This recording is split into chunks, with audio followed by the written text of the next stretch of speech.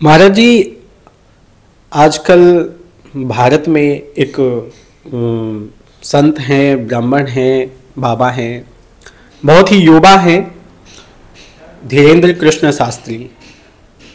कोई भी उनके पास जाता है तो वो उनके मन की बात जान लेते हैं और उनका, उनके मन में क्या चल रहा है, ये सारी चीज़ें एक पर्चे पे लिख देते हैं। और बहुत ही उनका प्रचार प्रसार हो रहा है। कुछ लोग इसको अंधविश्वास कहते हैं, कुछ लोग इसको पाखंड कहते हैं, कुछ लोग बहुत ही श्रद्धा से उनके पास जाते हैं। तो आप इसके इसको कैसे देखते हैं? आप इसको किस परिप्रेक्ष्य में देखते हैं?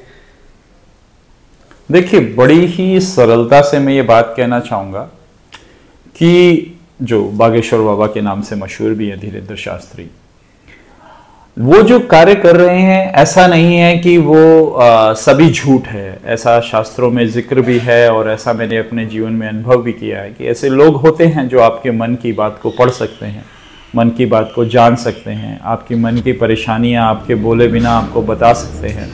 ऐसे लोग होते हैं। ऐसा नहीं है कि ऐसे लोग नहीं हैं। अब मेरा पर्सनल तो धीरेन्द्र शास्त्री के साथ कभी कोई वार्तालाप नहीं हुआ, कभी कोई मुलाकात नहीं हुई तो मैं पर्सनल उन पर टिप्पणी तो नहीं करूँगा इस विषय को लेकर के।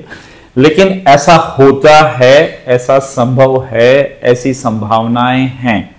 ये कोरा अंधविश्वास नहीं है, ठीक है?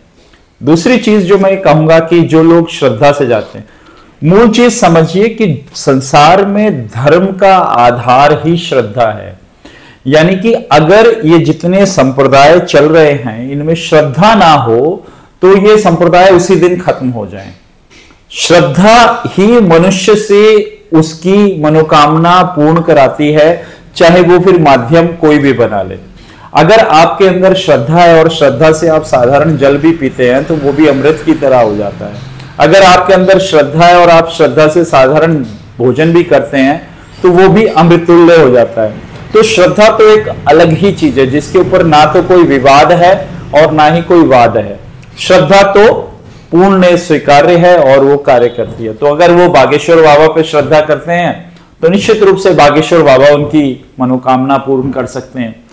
क्योंकि भगवान स्वयं गीता में कहते हैं कि जो, यूँ तो मैं संसार की समस्त वस्तुओं में विद्यमान हूँ और संसार मुझमें विद्यमान है, लेकिन जो मुझे जिस रूप में भजते हैं जो मेरा ध्यान जिस रूप में पूरा करते हैं, मैं उनकी मनोकामना उसी रूप से पूर्ण करता हूँ।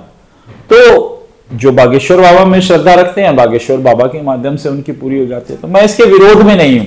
हाँ हालाँकि वो एक बच्चे हैं, वो थोड़ा सा लड़कपन भी है, सत्ताईस, अट्ठाईस साल की उम्र है, उनकी मुझे पक्का नहीं है कितनी है, लेकिन लगभग इतनी ही है। तो वो जो लड़कपन है उनका, वो कई बार उनकी बातों में झक झलकता है और जिसके कारण लोग जो है, उन पर विवाद नए नए विवाद खड़े कर लेते हैं। अब, कृपा से तो कुछ भी हो सकता है। अब मुझे नहीं पता कि ये उनकी साधना का परिणाम है या उनके गुरु ने कृपा कर दी, उसका परिणाम है, या ये परमात्मा की कृपा का परिणाम है। बाकी अगर मेरे से आप तार्किक रूप से पूछना चाहें, क्या ये संभव है? हाँ ये संभव है। मेरे जीवन में और भी ऐसे मनुष्य और भी ऐसे संत आए हैं, जिन जो इस प्रकार की सिद्धियों में निपुण थे, इस प्रकार की चीज़ें कर सकते थे तो ये कोई असंभव नहीं है। जहाँ तक बात रही उनकी सनातन को लेकर के, सनातन को लेकर के जो भी वो टिप्पणी करते हैं, मैं उसके समर्थन में हूँ, कहीं ना कहीं वो सही ही कहते हैं, और उसमें कोई दो राय नहीं है।